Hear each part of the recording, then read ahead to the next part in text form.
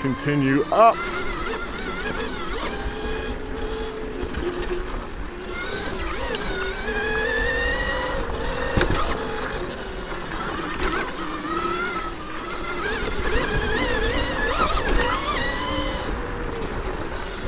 Let's see how far I make it.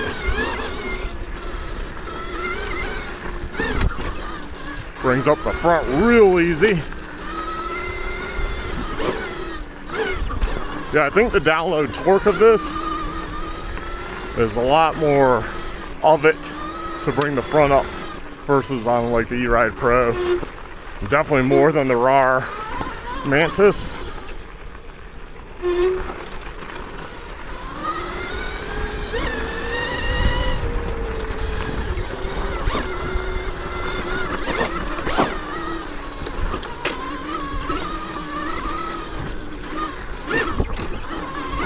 You want to be able to bring the front up when you're off-road for little obstacles and what have you. The throttle though is very precise, very smooth feeling. I like it. It's probably the best throttle out there. I used to say the Rawrr Mantis was, but this is a lot smoother, a lot more precise.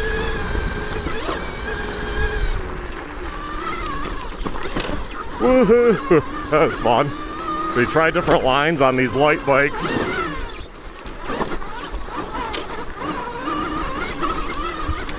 Go off the bank. What would make these bikes even better if they start coming with like more dirt bike type tires like the Tusk ground layers.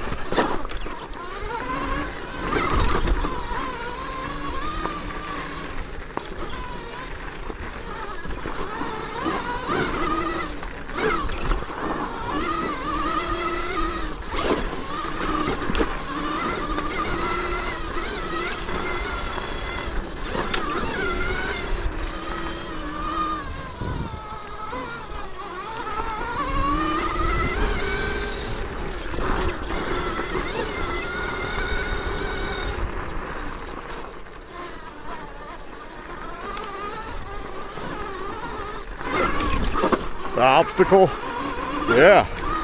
Man, it works really good.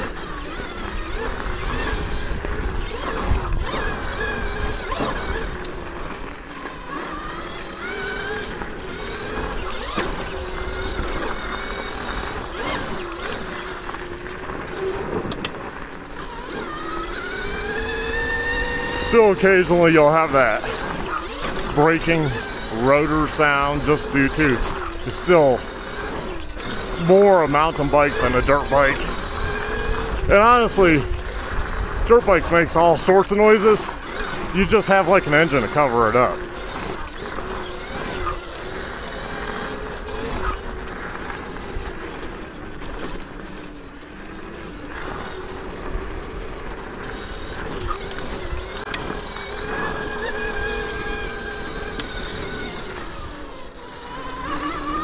Up this.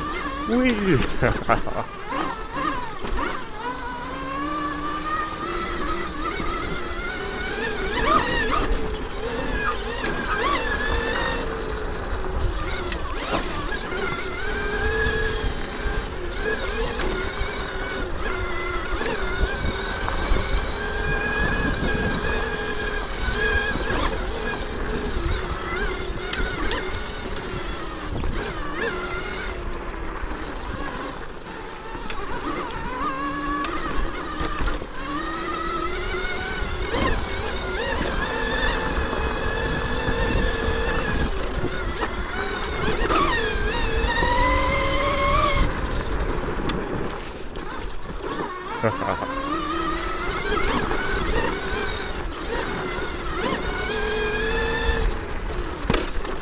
Ooh.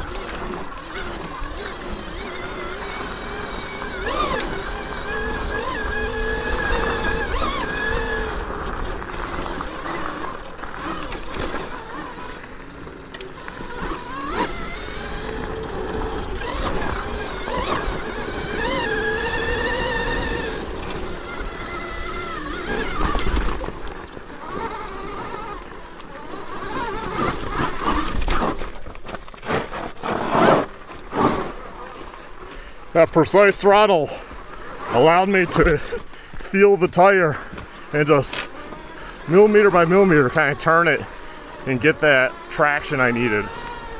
That was nice.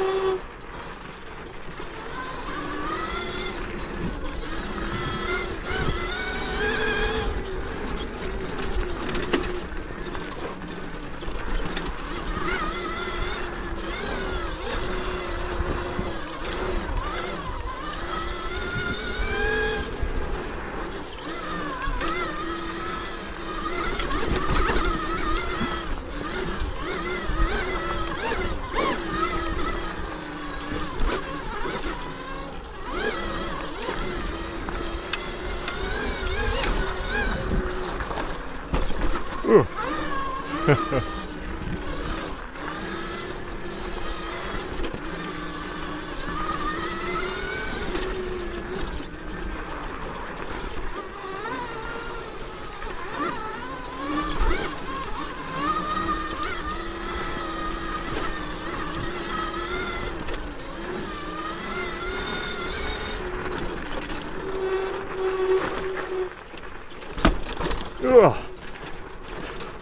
Low ground clearance issues.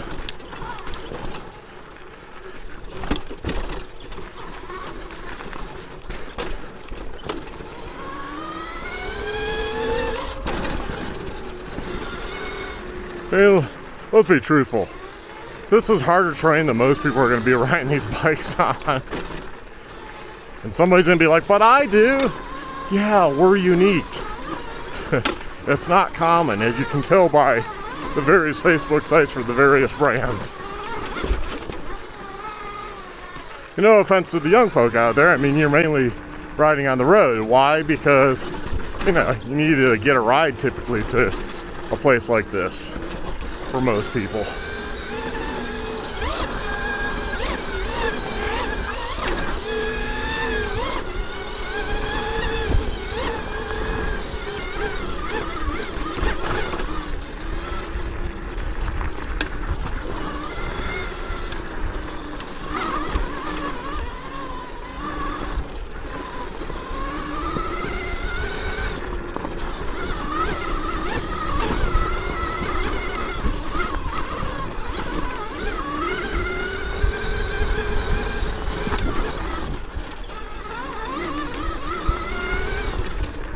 I'm loving the down low torque on this thing. It is amazing. Just, boom, go. Just lightly twist that throttle.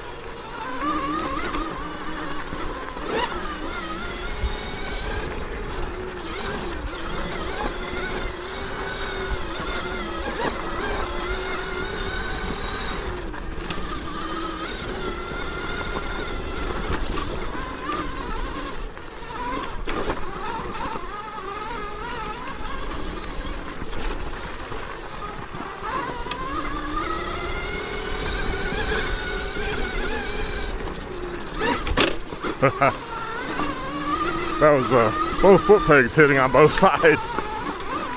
So that wouldn't happen on on the dirt bike. Or the Arctic Leopard.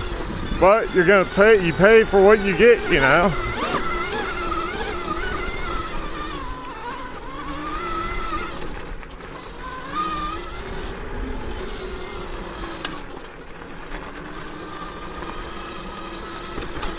Then you got that new bike that goes 80 miles an hour, the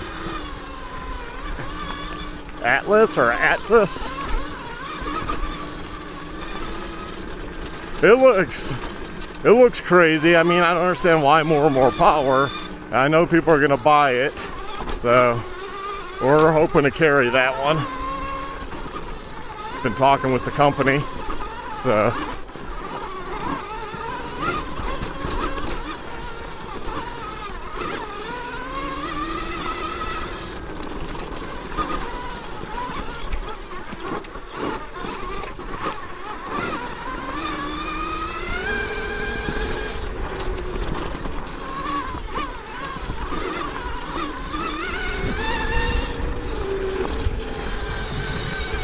probably one of the few channels that actually ride these bikes on trails versus motocross track. I mean, I have no interest in track riding.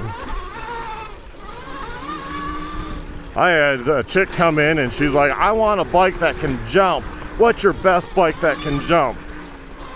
And she was pointing to the electrics. I was like, none of them? That's not, not really what they're made for. Yeah, that's what people can do with them and stuff and can soup them up, but that's really not what they're made for. They're not, these are not motocross track bikes. The Stark Varg is a motocross track bike. Because then she asked if I had one of those. I was like, no, those are $15,000. Like, the rental on that, something like that would be like three or 400 bucks a day. And it's like, nah, you know, don't feel like doing that. I have a feeling people will crash it, and then the problem is getting parts.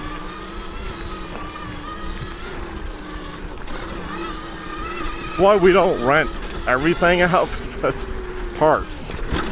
We got to be able to fix. Otherwise, it's pointless. Yeah, you get a hundred bucks. Well, after they take their fee, let's say you get 80 bucks after the, the third party takes their fee out of it. So you get $80. Well, and parks are going to take months to get. What's the point? I can make videos in the meantime. So I, you know, I don't think the rental's that good unless the person's interested in actually buying one. That's what it works for. So you all come on into you know Moto Toys, you know, you try one out or you rent one, and then you know you might buy it. That that's where the reward is. so let's see. I got just past my point there. 77%. We're going to be on pipeline here in a second.